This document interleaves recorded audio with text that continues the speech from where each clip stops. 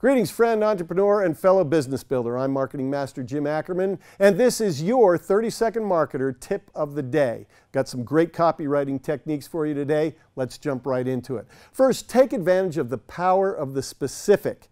The more specific you are in your claims, the more believable you'll be.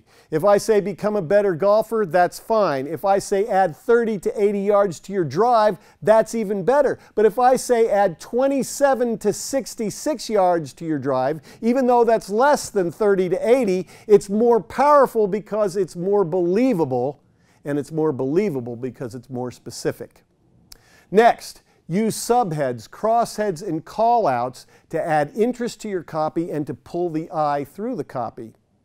Use testimonials and case histories to prove that you really can deliver the benefits you say that you can deliver.